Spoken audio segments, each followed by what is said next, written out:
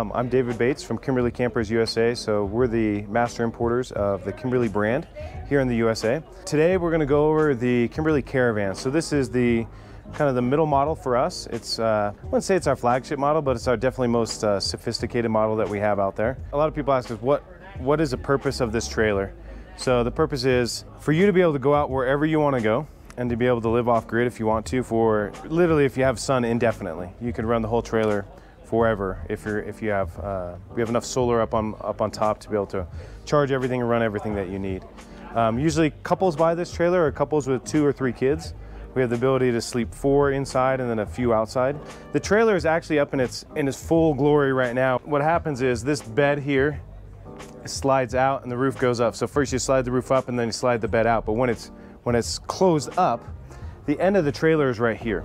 The total length is 18 feet 3 inches and the height is just over 7 feet when it's in its travel condition.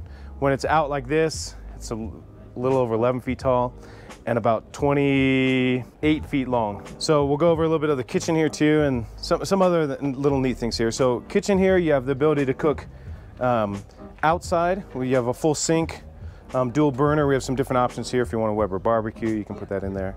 Likewise inside, when we go in there, I'll show you, we have induction cooking or diesel cooking inside with a full sink and everything in there. Um, some of the, the DNA of the Kimberly brand is that we have um, a trailing A-arm suspension under here with airbag control so you can level it, you can lift it up side to side. Um, wrapping around the back side here, um, a lot of people ask, what do you do to be able to clean off? Outside we have an outdoor shower. Likewise we have an indoor shower and I'll get to that. Um, plug out here if you need power out here. Um, a neat interesting uh, feature of the Kimberly is that if you're out of water, you have the ability to drive somewhere to find water and you can suck it out of a pond or out of a lake or out of a river or a bucket if you need, need to and, and it won't contaminate the rest of the water system, it isolates it. If you, if you don't want to bring it into your tanks at all, you can simply turn a couple valves and what will happen is you'll suck water in to the heat exchanger inside. It will heat the water and you can take a, a hot water shower just out of a bucket if you want to. Um, in the back here, just a huge area for storage. Um, you know, this is a customer trailer, so he's just stuffing all of his um, odds and ends over here inside, inside this area. We don't use any wood on our trailers. It's all aluminum, fiberglass, or steel. A lot of people ask that. I guess, take that back. We have just the wood faces of the cabinets. That's the only thing that's wood in this trailer. Another question people ask is like, what is setup time? Um, to set this thing up, it takes about a minute. You literally have, there's six latches that you undo around it. You press a button on the inside here, it lifts up, and then you slide the bed out and you're done and you're ready to camp. The only, um, we have one propane tank and that is only used for outside cooking. The, all the inside heating um, is done by diesel. In, inside here we have dual lithium batteries and there's 600 amp hours total. Uh, there's a DC to DC charger up there, enough room to put a 2000 watt uh, generator in there in case you need it.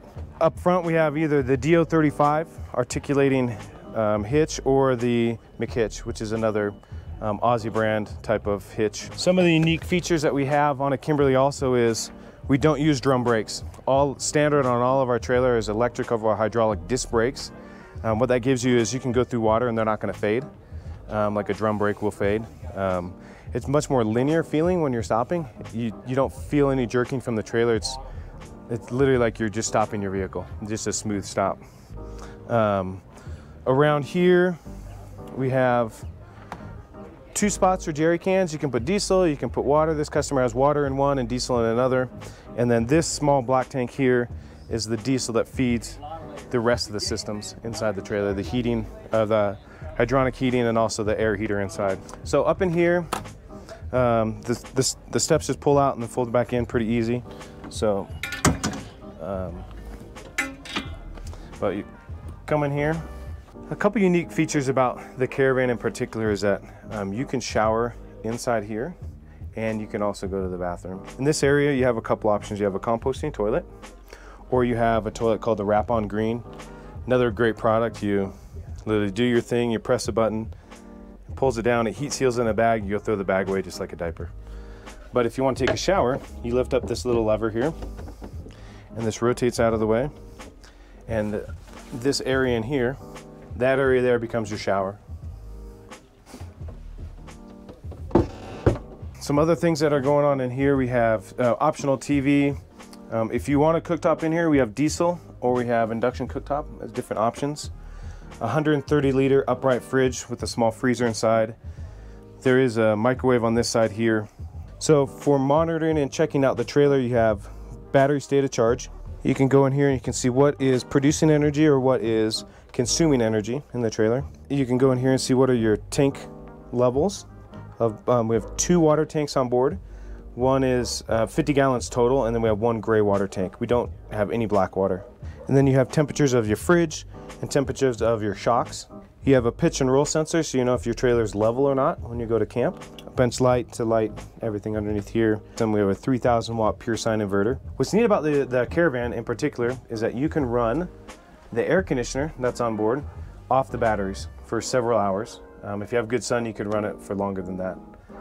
Going up here, we have two fans that allows you, if you open up the rear windows, you can um, pull a breeze through. And if you want to go the other way, you can have these blow into the trailer and keep it cool. Um, we have a positive pressure cabin system. So you turn this guy on here. When you're traveling in dusty conditions, it'll pressurize the cabin to keep all the dust out of the trailer. Down over on this area here, uh, prep area for your sink and then inside here, these are all just drawers for storage of whatever you want to put in here. So on this side of the trailer, we have seating here for three and then um, seating here for a single person. And then if you want to have a meal, you can slide this out and uh, eat here, play cards, do work if you're working remotely. That slides in here. Um, for storage underneath the bed, there's giant storage for clothes, for whatever stuff you have uh, want to put in here. Um, there are um, two methods to heat the trailer. We have a hydronic heater, so it heats glycol, and then we run it through a heat exchanger. It heats water. Um, that's used to heat our domestic hot water. It's also down here to use to heat. Um, we run that glycol through in a heat exchanger down here. and blows in into the trailer and heats this area. We also have an air heater that's also diesel run. That so if you're in super cold temperatures like if you're down in the teens, you'll stay warm just fine in, in the trailer here. Uh, full-size queen bed. Yes, it is a full-size queen bed. For you tall guys, um, six, eight guys can sleep on here comfortably. And then for the ceiling here, um, the uppermost part is over seven feet. This clearance right here is a, about 6'10". So a lot of tall guys ask us, can I, can I come in here and not hit their noggin? this is, uh, you can get through here and, and you'll be plenty comfortable. Um, they are actually built in Australia. So a lot of brands that claim that they're Australian built, most of those are built in China. But Kimberly is proudly built in Australia and they've been doing it for 28 years now. Man, it tows like a dream. If you can put this behind almost any vehicle and you, you don't even know it's there. Um, it will go over anything. A lot of people think, man, all this luxury, you know, you have, you know, leather, real leather couches. There's 27 different leather colors, but with all this luxury, you can still go wherever you want to go. The DNA is, and number one feature of a Kimberly's off-road, and luxury is second. So price point, it's uh, between 80, 85,000 up to all the bells and whistles, everything you want on it is right around 110,000.